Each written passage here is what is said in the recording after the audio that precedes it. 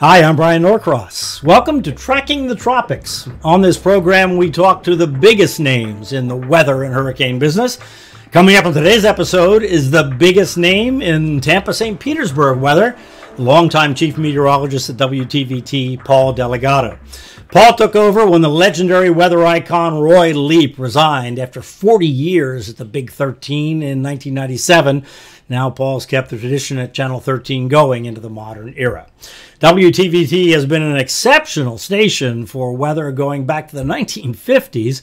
We'll talk to Paul about that. And also, what makes Tampa Bay especially vulnerable to hurricanes and how you communicate in a region where hurricanes don't happen very often, but the risk of bad things happening is, extremely high when one does come along. So let's take a quick break, and I'll be back with my conversation with the chief meteorologist at Fox 13 WTVT in Tampa, Paul Dellegatto, in just a moment.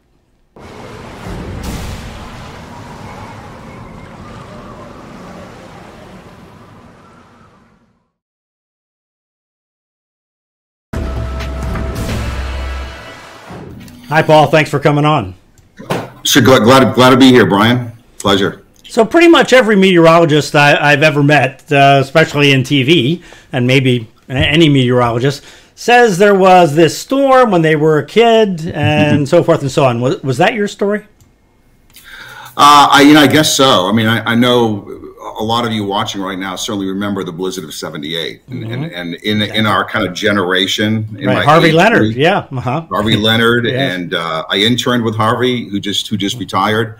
Um, that was the storm that you know I look back on, and I was a senior in high school. So this was in the Boston I, area. The blizzard of '78 was Natick, really impactful. Yeah, Natick, yeah, suburb of Boston, and yeah. I and I remember sitting in, in in school, looking out the window at noon on February 6th, and saying this is going you know just looking at this is really bad, and then never going back to school again for three weeks. And this is in an area that it snows a lot. So, yeah, you know, yeah. we miss a day or two. We don't miss three weeks of school.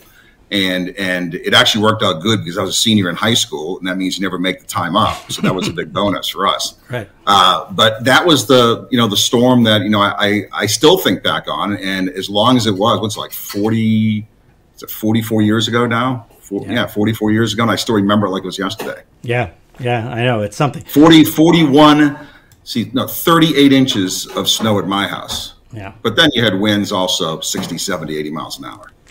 Yeah, no. If you go back and look at the uh, TV coverage, uh, recently looked at TV right. coverage uh, of uh, that storm. It's and the radio coverage of WBZ is really, sure, really, really um, monumental. Actually, one of those moments in broadcasting. So then, uh, so you're a senior in high school, and you know you get the meteorology bug, and you end up going mm-hmm. to Lyndon State uh, in in Vermont, or had you already planned to do that? Before the blizzard?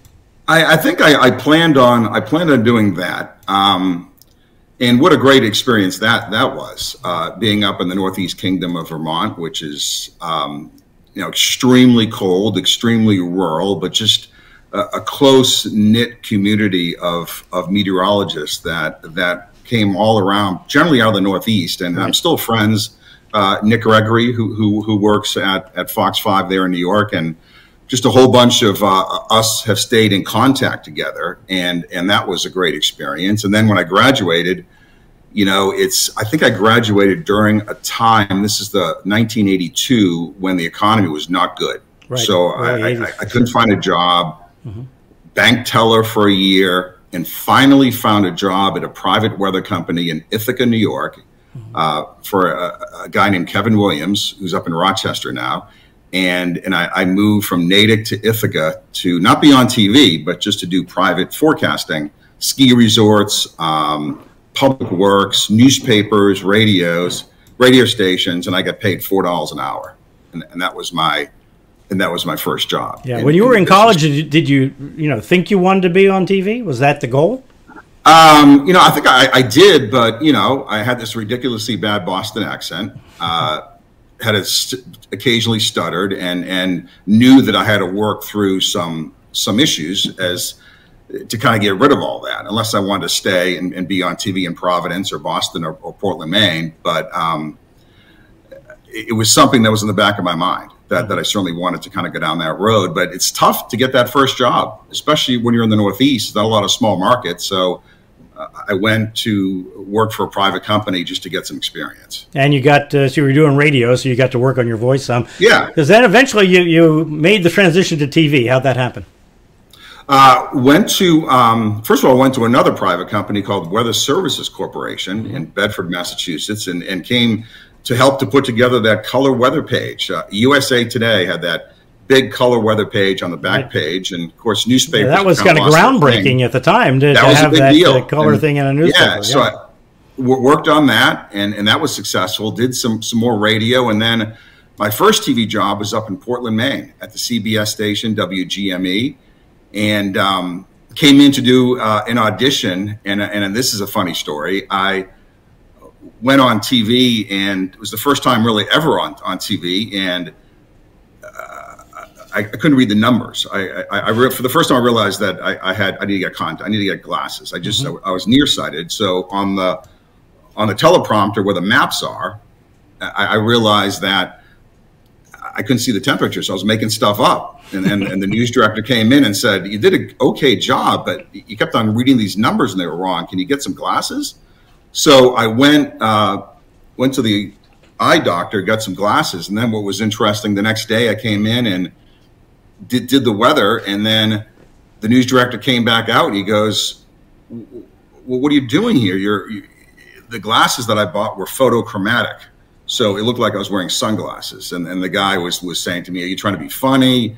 you don't wear sunglasses on TV. So that was a whole nother story. Uh, he thought I was being a wise guy. He goes, "What? What? You actually going to be on TV with sunglasses, dude?" And and uh, I said, "No, I just didn't realize that they were, they were going to be photochromatic." So I stayed. In, basic bottom line is I stayed in Portland, Maine for a year. Uh, still look back on it, it's just such it's just a great town, great city. It is a great uh, place. First day, first day on TV. Um, high, you know, high, temperatures, single digits. Low, low temperatures, minus ten, minus 20 mm-hmm. um, and then I stayed there for a year and then went to Winston-Salem, North Carolina as the chief meteorologist at 25 years old. That was a pretty good job for me. But the thing about going to Winston-Salem, North Carolina is I'd never left New England. So here I am in Winston-Salem, North Carolina, and I'm on TV and no one can understand me and I can't understand them because mm-hmm. I'm, a, I'm park, parking the car, chance of a shower, and I'm in the Bible Belt of North Carolina, Tobacco Road. So I had to be sent away to speech school for a, a week at a lady's house in, in Dallas where I sat on a in a kitchen table for a week uh, saying shower, shower, shower, not shower. Yeah, so that, that I, my, I, knew that lady. She was really very talented. Yes. I, I, worked with her. Yes. So, so all right, so I, I get that. So that's that's yeah. what stations did back then. Actually, they they you know spent the money, took the time to to uh, yeah. help. They had no choice. I mean, I would go, right. I would do these school talks, and, and I would be at the school, and the, the, kids would be looking at me, and I'd be looking at them, and and there was a definite.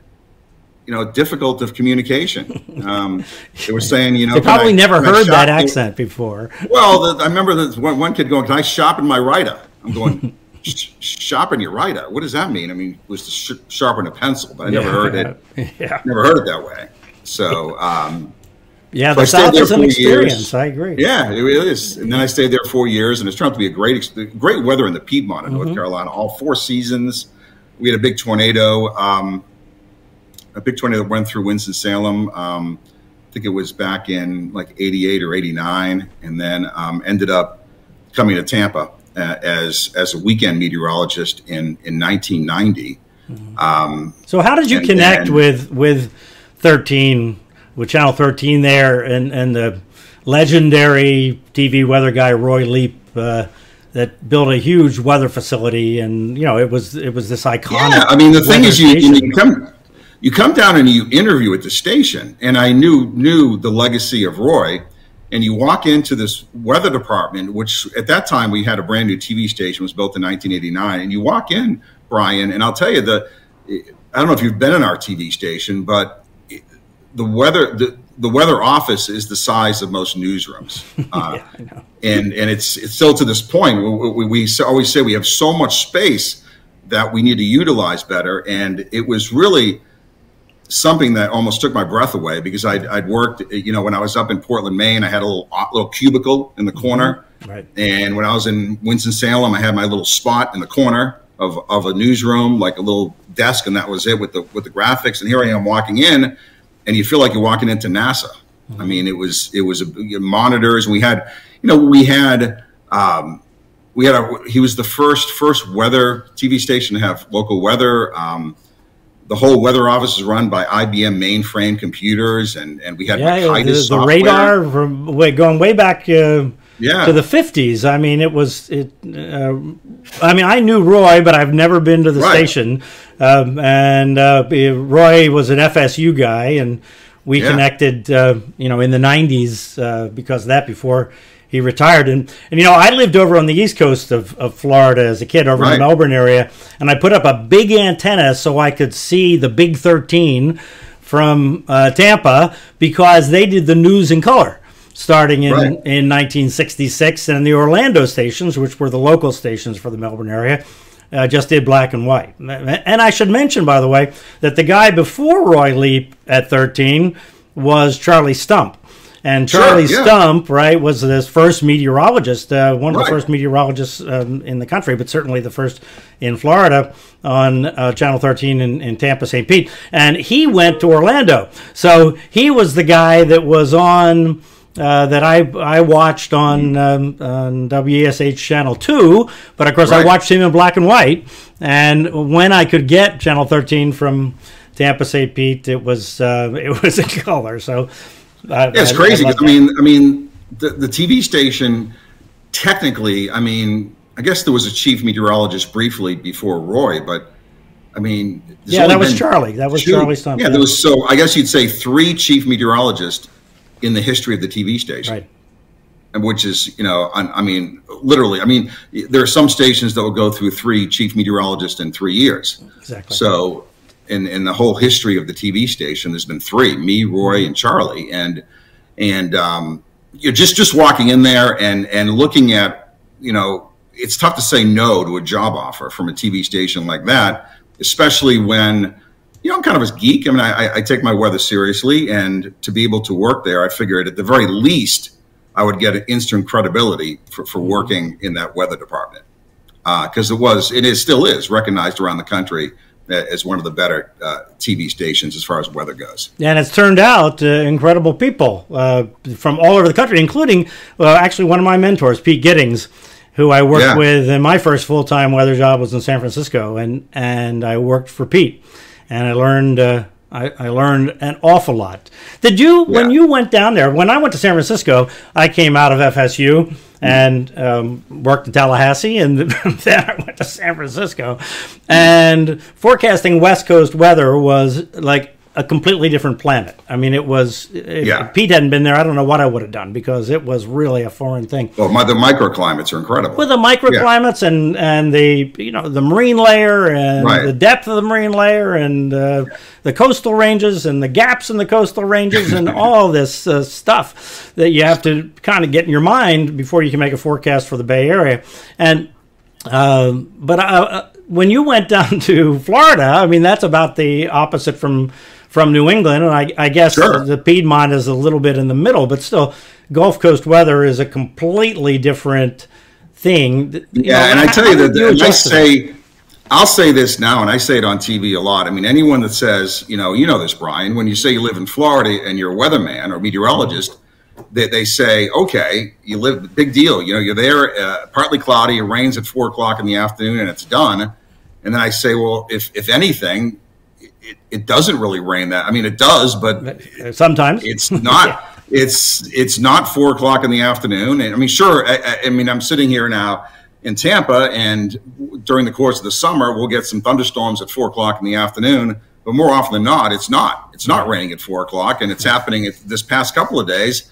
Uh, I've been we've had rain at night, and we've had a southwest wind. So the weather here is is a lot more challenging than than people think. It's it's about the timing of the rain in the summer. It's the amount of rain. Um, it's it's hard. I mean, the the winters are actually, you know, obviously a lot easier because we'll, we'll, get long stretches of low humidity and a lot of sunshine. but every market has its challenges, and for us, you know, it's it's thunderstorm activity, timing, and of course, uh, the risk of tropical activity from the from the Gulf and the Caribbean, the Atlantic. Yeah. Let's take a break. More with Paul Dellegatto in just a moment.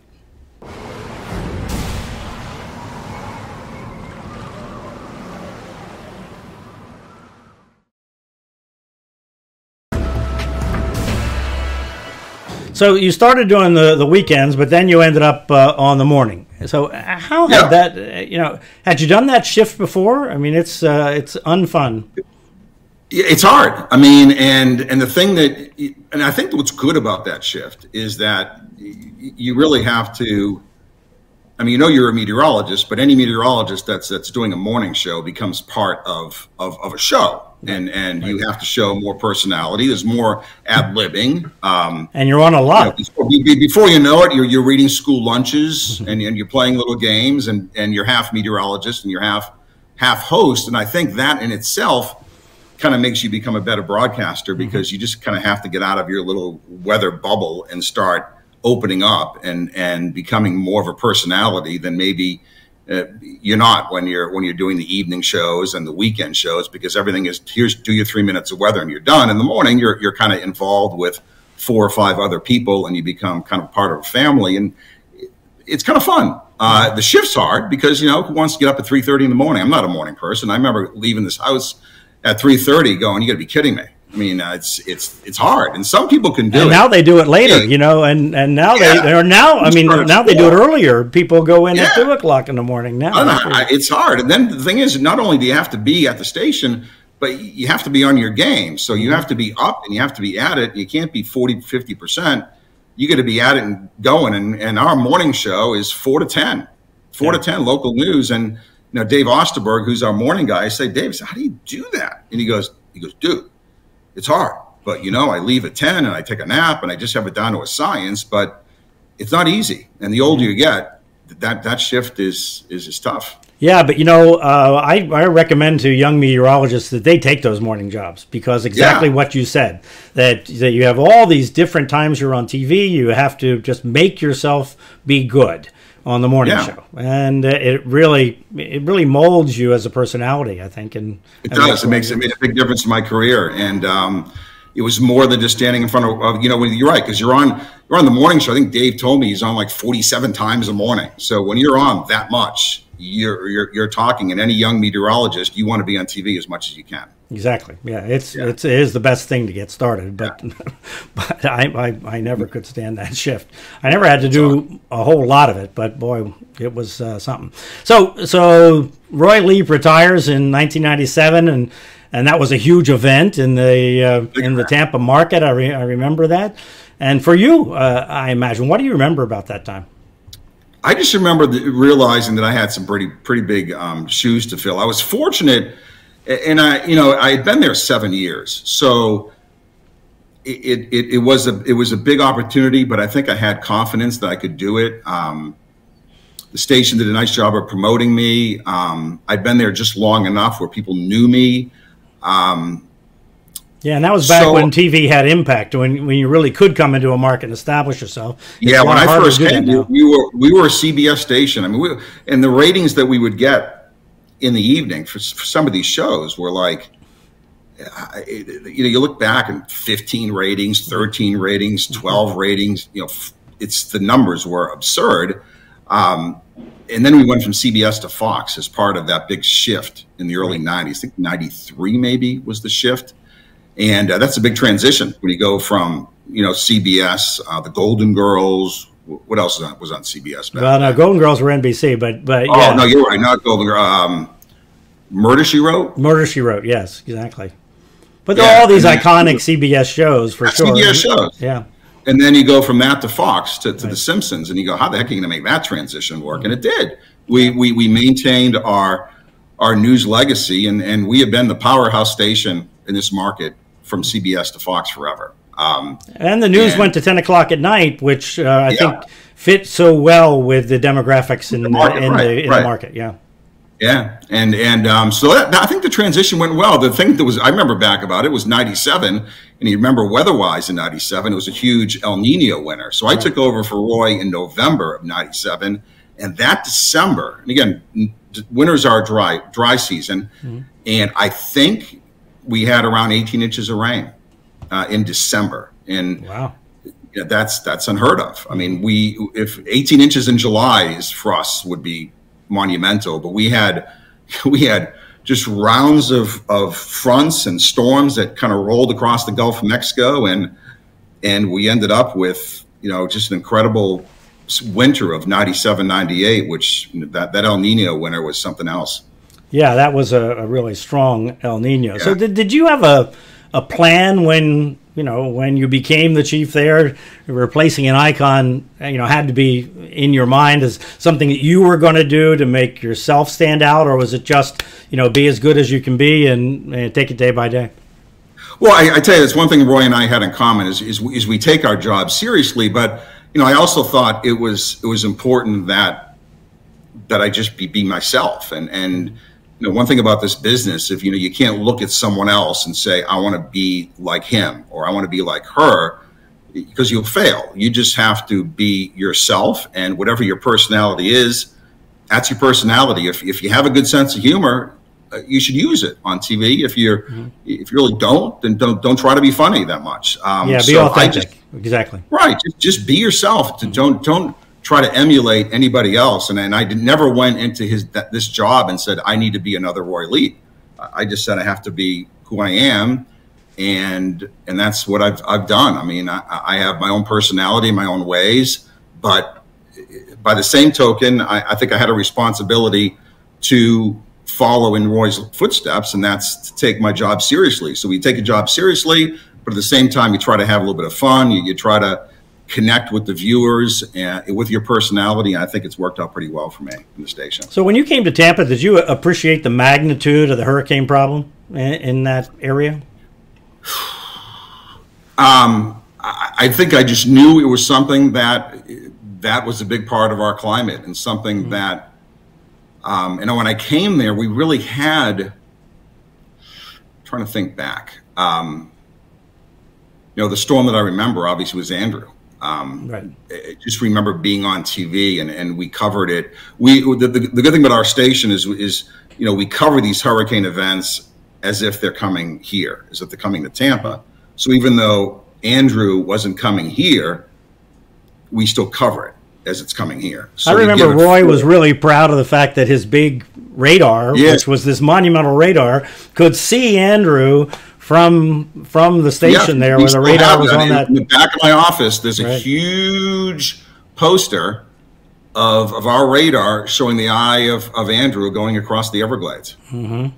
Um, and we picked it up, you know, up, all the way up here in Tampa, and that's huge, still there. And, um, and, and we tracked it all the way across the state, and that was and it was a big promotion. But you know, really had nothing, nothing here right. in Tampa Bay because we were on the regardless of the storm, we're kind of on the on the north side, so the winds were mainly east northeast. We had no flooding, and and it was pretty much a non-event for us, but obviously not a non-event in South Florida. Yeah, well, it was a relatively yeah. small, physically small, compact right, uh, right. storm, compact storm. Yeah. So the, the big events in in uh, the Tampa, St. Petersburg area you know, are like 1950, 1921. I mean, not to mention the biggest one in 1848, right? Right. Uh, do you talk about those like long ago storms, or how do you talk about the hurricane threat there? All, all the time. I mean, when I'm when I'm doing the old Kiwanis Club meetings and the mm-hmm. and the school talks and hurricane specials, and it's always about really, it's a lot about the 1921 storm mm-hmm. because um, so much about that storm is relevant in the sense it happened in October, and we and we really harp on the fact that on the west coast of Florida, if we're going to get a, a, direct hit in a storm coming in in the Gulf, I'd say it can happen in in July and August and September, but it, just the way the upper level winds are, it's more apt to happen either very early in the season, and if it does early, it's probably not going to be a very powerful storm, but it's going to be probably a late September October storm, and that's what the hurricane of 1921 was, a, a, right. a mid to late October storm.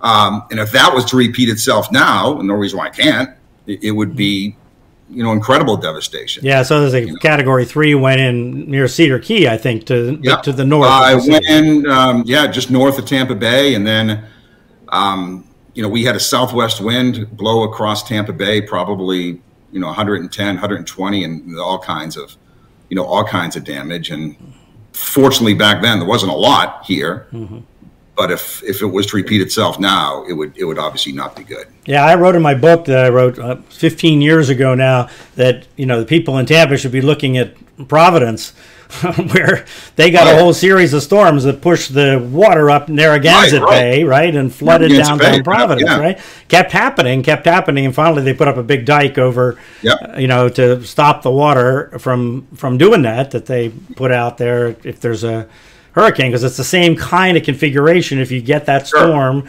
just to the left of the entrance of that big bayfront, right? Yeah, and anyone who lands, I mean, it's funny when you land at, at Tampa International, uh, which is a great airport, but if you land from the south, you'll end up kind of curving down through Pinellas County. And if you look out the window and you see these homes, and, and you just, I mean, I mean, from the vantage point of a plane, they look like they're on the water. Yeah, I mean, it's, it's all flat. It, it, all looks like it's, it's at the level one level. You're right. Same yeah, thing in Miami, by the way. It has that same kind of look about it when you come in on Biscayne Bay.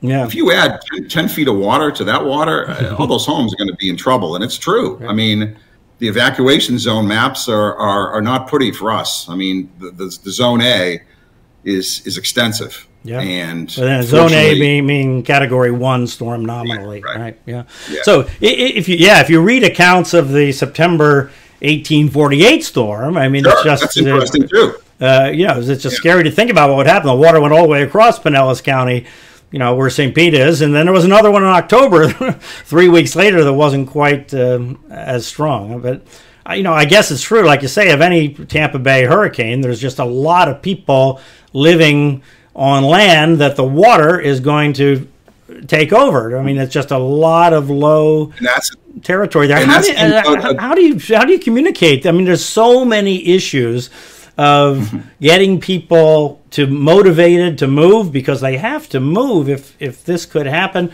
Um, you know, I'm sure you've thought this out and kind of come close to having yeah, implemented I mean, a few times. It's, it's on so many different levels. I mean, I, we could start with discussing the fact that we probably have a lot of viewers um, that don't understand that if you're if you're living in Lakeland or you're living in Plant City or uh, towns that are inland, that they're not in an evacuation zone, right. and and that in itself is a challenge because everyone thinks they're in an evacuation zone. They don't, and they a lot of people don't understand you're you're not in an evacuation zone because it's going to be windy. You're in an evac- evacuation zone because the Gulf of Mexico could end up in your living room. That, that, yeah. that that's why you're that's why you're evacuating. And, and I think that message in itself sometimes is complicated because I get emails in October and, and July saying, "Hey, I live in I live in Dade City, which is way inland. Uh, what now? What what level do I go? Is it B or D here? What is it?" And, and people don't understand that it's it's yeah. you're escaping the water. Is what is what you're doing. That itself is sometimes a difficult message. Yeah. Do you think the people that live uh, in Pinellas or along Tampa Bay or Old Tampa Bay or on the Interbay Peninsula there south of downtown realize how low the ground is they live on it really is and that you know a category 1 would would flood them that they don't have to you know let alone a category 3 or 4 it doesn't have to be some kind of extreme extreme yeah event. well you, you, would hope you would hope when they get their, their flood insurance bill every year that at least would remind them when they're writing out that check um, yeah, I mean, I think I, I mean, I think people are cognizant of it. I, I, I, think a lot of it is, you know, how it is in life. The, day by day, there's uh, so much to worry about. COVID. I mean, economy. Where you go down your list of things in your head that you think about on a day by day. A lot of it is. In fact, my dog's gonna end up hopping up here, Brody. Brody Your famous dog, yes. You yes. want to introduce the dog? Whenever he knows when I'm when I'm talking that he want that he wants to come up and say hi. It's kind of like a thing. Hey, buddy. Yeah. Um, it's you know I, I I just think that there's so much that we think about in, in our daily lives, and we look out the, look, looking out the window here. There's not a cloud in the sky that you kind of worry about it later. Yeah. When when I when when it's coming, I'll worry about it then. Yeah. And that, I think that's how it is for for most people. You do urge people to have a plan, so you hope that if you know in, in a week from now, if, if a hurricane was approaching from the Caribbean, that people would be, would take it seriously and, and use the plan that they that they hopefully have put together. Well, my experience uh, in South Florida over a lot of years of this is that oh maybe twenty percent of the people really are ready, and the rest of them deal with it in some level. Some of yeah. them are, have just don't want to think about it intentionally. Right. They don't want to think about yeah. it because right. it's a pain in the neck to think about, right? Uh, and yeah, I think they rather not. And I think a lot of people think I, will always have time. Right. Uh, unlike unlike a tornado coming uh, that you just have to scurry and get into a safe place. I, I, I think people always say I always have the benefit of time. I have a mm-hmm. week. If the storm's coming, I'll have five days. And I'll worry about it then.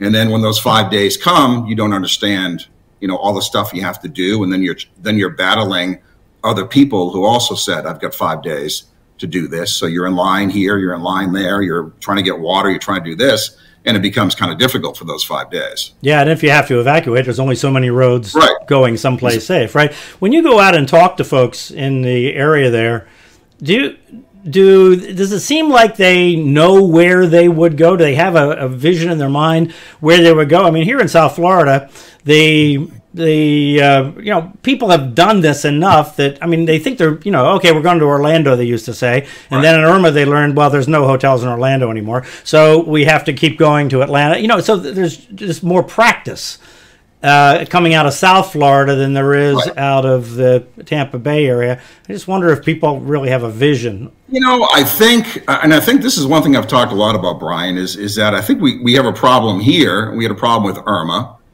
Um, is that if a big storm is coming, people just want to leave. Mm-hmm. So even though they're in a well-built home that is, has no chance of flooding, they don't want to be part of it. Right. They just want to get out. So I can't tell you the number of people that left here during Irma and went to um, Atlanta, went to Jacksonville, went to Orlando, and the number of people that left here went somewhere else and end up losing power and having a more difficult situation where they went than if they would have had if they simply had stayed. And then it was a pain and, in the neck to get back. and we, we have I 75 that, right. that heads up to Atlanta. And I say the last thing you ever want to do is plop yourself on I 75 and, and try to get out of here two days before a hurricane hits and, and one person runs out of gas or there's an accident.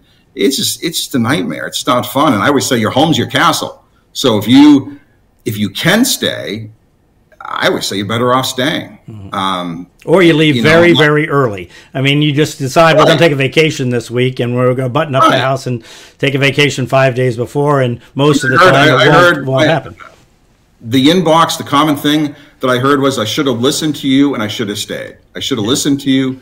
I left and what a nightmare. That was a disaster. Right. Um, I mean, there, there, I mean, I'm not, the thing is you, you have to leave. I mean, you're, you're, there are times when you have to leave and you're, you're, you could flood there, there but, but there's also many, many times where a chunk of our population is not going to flood and they're in a concrete, you know, block home sometimes you, you, are better off staying. Yeah, it's absolutely true. Yeah. It's uh, it's a dilemma. I mean, it's the same thing yeah. in South Florida for sure.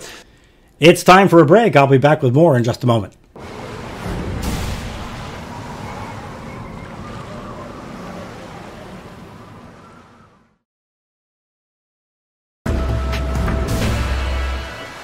So, how did social media become such a big thing for you? What, what, how did that start?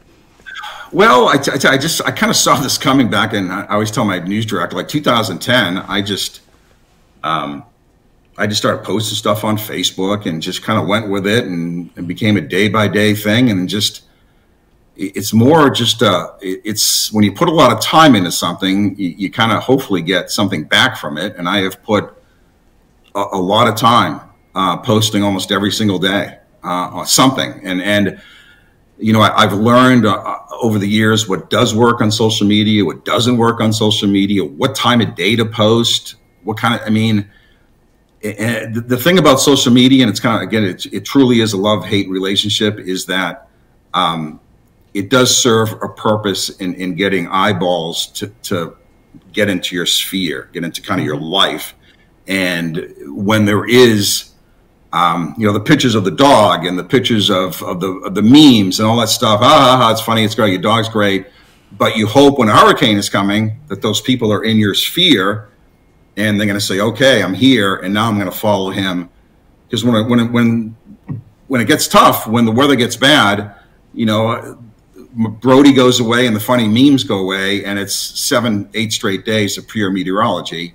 Yeah. And that's when it, it really works because you end up um, you end up people messaging, when are you going Facebook Live? When are you going live again? when's your next post? When, are you going to, and you know, you do these posts and, and, and they're kind of good because you can, you can sit for a half hour, if I can find a half hour in the day when a hurricane is coming, and you can really explain from your heart what you think is more so even than on TV because you can just, you can make a post and this could happen, that could happen.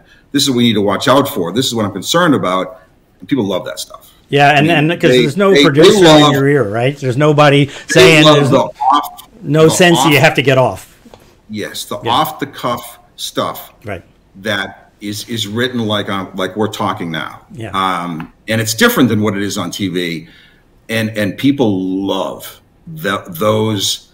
And I'll even sometimes I'll do it. I'll just say random thoughts Mm-hmm. And then you do 20 thoughts of this could happen, that could happen. I remember this happened in, in 21, this happened here. Irma did this. Remember all kinds of stuff and telling people you don't, if you're home and you live in Plant City, your home is safe, don't leave. So much, and people love it. So that that is where I think social media um, makes a huge difference in in what we do um, and really helps. And it's and it's in those those type of cases and you get on social media you get the the feedback from from people which is a big difference don't you think?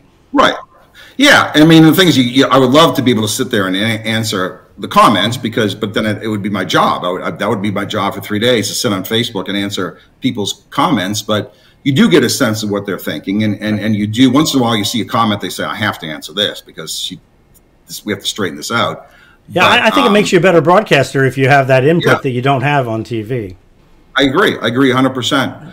Um, so I, I think it play, and I think those Facebook Lives, you know, we, we, have done Facebook Lives, and my news directors come in and said, the number of views you have on that Facebook Live is like rating points. I mean, it, it, uh, that's a big number because that, that's that's a huge. We'd have two, three, four, five hundred thousand views mm-hmm. on these on these Facebook Lives, sometimes over a million, um, and they're all around the world. They come to the point where when Irma was coming, it seemed like anyone that had any connection to Tampa Bay, they could have been in China, they could have been in, in Sydney, Australia. I was looking down, hey, I'm in Sydney. I used to live in, in I'm following. I, I, I can't. So it becomes it becomes a big deal, and and and again, that that's when when I think social media in our business really works. You know, it's uh, the way television has evolved in these days where we have so many more video sources and things are computerized yeah. and, and whatnot. You know, back if you look at the videos from Hurricane Andrew coverage, I mean, that's what I was doing. I was essentially doing right. what we're doing here today, exactly. right? Talking exactly. about it and spent hours and hours and hours doing that and and people really appreciated that. But but TV isn't structured that way now. You have this little window of time. It's not little. I mean, they give you substantial time, I'm sure. Uh, but but still, it's from there to there. you put in your graphics. Talking, and there's and when you're talking and the producer just says you can go and you know in the back of your head you have no time limit you do have a tendency to become more conversational because you know you're not up to i got to end this in, in, a minute and a half and you yeah. kind of you broadcast differently when you know you have an endpoint but when you don't have an endpoint it's i think it's more e- it's easier to become more one-on-one conversational because that's how you talk and that's how it ends up going and people really connect to that that kind of conversational off the cuff way. Yeah, um, um, I agree with that. And you know, back in again in Andrew's time, we heard from viewers because we had a special phone number that right. in the lead up to it, people called and just asked questions, asked questions, asked questions, right. you know, nonstop, uh, hundreds of them. And you know that was the way we interacted. But uh, I really do think that that, yeah. that made me a better broadcaster. Is because sure. you people ask kind of the dumbest questions, but then you go, oh, I get where they're coming from and where the confusion point is, you know, yeah. and, and it really does help. So when you go to continuous coverage because there's some kind of big uh, event, how do you see, you know, Facebook and Twitter and all that working? Because, I mean, you only have so many hours in the day, it's right? Or only have so many minutes in the hour is maybe a better way to put it. Yeah, I mean, I'll be honest. I mean, I remember when Irma was coming, um, we weren't on continuously back this, the days leading up. I mean, we're not on nonstop with Irma coverage, but I remember getting up at, at, two o'clock in the morning and, and, looking at the European model coming in and sitting sitting in my office with, with the, the, light on and, and putting a post together at, at, at 2.30 in the morning and hitting send and then going back to bed and then waking up and then redoing it again when the when the 6z data came in and it, it become it's a it's hard but you know you're running on adrenaline it's it's it's something that that you, you you'll know you'll get through and as hard as it is you know it is our super bowl and, yeah. i mean this is this is our super bowl and, and and we don't want anyone to you know have issues or have problems in their lives with a, with an approaching hurricane but as far as we're concerned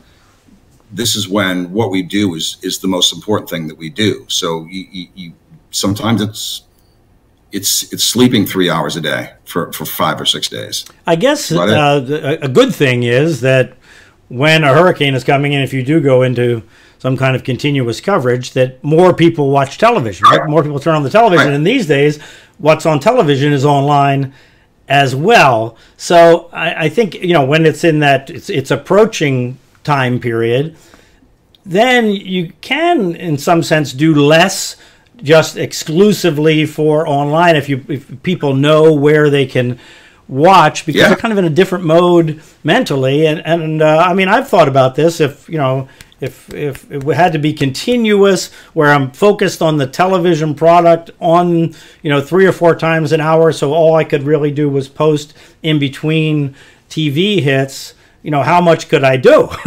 could I do a, you know, a, you know, a thousand word? I would do those yeah. sometimes fifteen hundred word posts. You know, I don't see how yeah. to do that though. You know, in some sort of of uh, more imminent time frame. It's yeah, well, it's hard. I mean, leading up when when you have the storm coming up up the state, you, you, it's hard to get in front of a computer and, and put a fifteen hundred word post. Yeah, uh, yeah it's you can do it once in a while if you have five people. You know, you, everyone at the weather office is there, so you you'll say, hey, you know, Tyler, can can you do me a favor? Go, can you write a big post, do a blog, mm-hmm. something? But as you when you get into the midst of, of the storm happening, it, it's hard to. I mean, you do a quick post, and but it's it becomes more TV yeah. centric. Yeah, I think so yeah. too. As as the balance between you know what you do online and, and the amount of you know uh, CPU cycles in your brain that you allocate to TV leveled out, do you think, or is it going to continue to evolve? Or you know, I'm asking you to predict the future here on how what what's on digital and social media versus what's on TV is somehow you know going to become something different, or do you think we've found some kind of balance? I, I don't know. I mean, you know, you just wonder. You know, everything kind of goes in cycles, and and the hot thing one year is not the hot thing five years from now. So you wonder the Facebook, Twitter, Instagram thing, you know, in five years from now, I'm sure it's going to be different. I, I just don't know. Will be will the, will Instagram be the thing? Will Facebook go away? I mean, will there be another platform that'll come on and we will find ways to do things differently? I mean, I look back on some of my old stuff from five or ten years ago, and it's probably a lot different now than it was five, ten years ago. So it's it always evolves and and there's always something out there that, that you will say boy if i saw that coming five years ago i'd really have it made now yeah so, and, uh, you know. and we have an issue don't we that the young people don't really watch tv oh and, well, i'm out i was in, uh, how do we starbucks the other day and when this lady came up and she's probably you know 25 30 years old and introduced herself hey, i watch you all the time i said you watch me you yeah. and she goes yeah why wouldn't i i says well I, I always say whenever i see someone who's who's young that watches. I'm impressed. I, I just yeah, I, I, I, was making dinner. I have the TV on. I'm watching the news, and I think that's unfortunately, you know, it's it's not really the norm anymore because there's so much. You know, my, my kids will sit on the couch all day, not all day, but most of the day, and they're on TikTok and they're on Instagram, and that's their day. You know, when I was a kid, I was watching, I was flipping the, the channels, some four, five, and seven, watching watching the news nonstop, yeah. and th- those kids are, on Instagram now. Yeah, or yeah, or TikTok, as you say. I mean, have you thought about it? You haven't. You know, I, I have thought about this, and people have said you got to go on TikTok if you want those. You know, if you want young people to know what's happening with a hurricane, it's got to be on TikTok. Have you thought about how in the world you would do, Oh, you do TikTok to make it make sense on a, any kind of regular basis? I, I haven't, but um, because just posting a three minute weathercast on TikToks, we're probably not going to get it done. yeah. It has to be some some sort of catch, something to make it, whether it's kind of produced, uh, you know. But you're right. Any any place that those eyes are is you want them to somehow watch watch what you're doing. But yeah.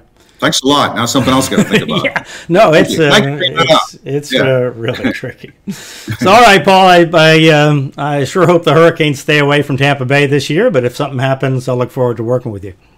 We'll we'll talk. I'm sure at some point. Hopefully not much. Yeah. There's that's in the Gulf right now, which doesn't appear much. But this, I always say that this this time, I always try to try when I take vacation. It's usually um, it's usually July to early August. thankfully, that's usually pretty pretty quiet for us. Then things get going in mid August. Yeah, late um, after July Fourth is usually Yes. my time. Late June to after July Fourth. That's usually it. time. All right, Paul. Thanks so much for coming on. Thanks, buddy. I'll be right back.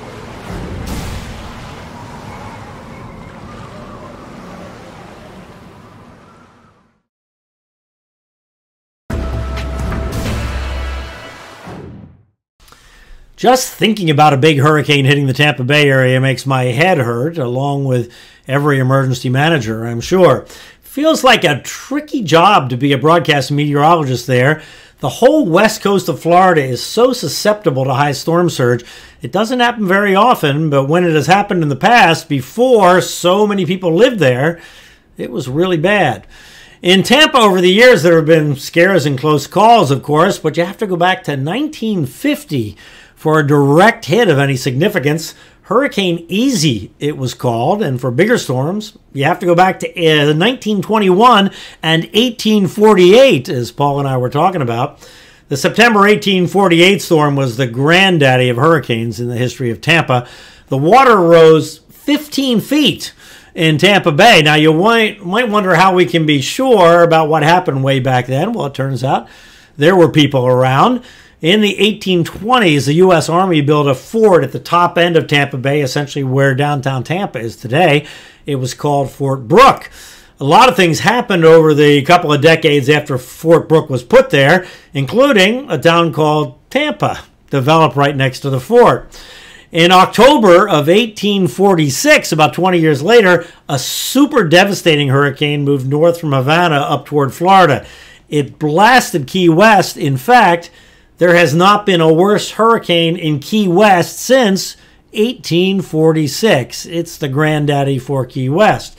Well, that storm moved north along the west coast of Florida. It did damage at uh, Tampa and Fort Brooke, but it wasn't catastrophic. So they knew something about hurricanes there around Tampa Bay. Then, just two years later, on the 24th of September in 1848, the barometer was falling, so they had an idea that a storm was coming, but they didn't know how bad it was going to be. The storm apparently moved north and then turned to the right, making landfall around Clearwater, just to the north of the entrance to Tampa Bay. That put the strong winds on the right side of the circulation in line to push water right into Tampa Bay and hold it there. The surgeon at Fort Brooke reported that the water rose 15 feet, and a lot of that happened in just a few hours, and that was above the low tide level, he said. Turns out low tide came at noon that day. Now, other reports don't exactly support that timing, but we know that every wharf and ship and almost every building around Fort Brooke was significantly damaged or destroyed. The Gulf water was pushed over much of where St. Petersburg is today and over the areas where thousands of people live now. So, as Paul and I talked about, it's a daunting thing to think about. The storm was probably a category three, which we can estimate using modern models based on the level of storm surge. And by the way, another hurricane pushed about 10 feet of water into Tampa Bay three weeks later in 1848. So the question is from a communication standpoint, how do you motivate all those people that live around Tampa Bay to get to safety or do whatever they need to do? It's tricky, like I said. Hopefully, if something like that happens, Paul's huge presence on social media would help. But boy, it's a scary proposition. If you enjoyed this program and you'd like to hear an extended version, you can get our podcast. Search for Tracking the Tropics with Bryan Norcross wherever you listen to podcasts. For now, I am Bryan Norcross. Thanks for watching. See you on the next Tracking the Tropics.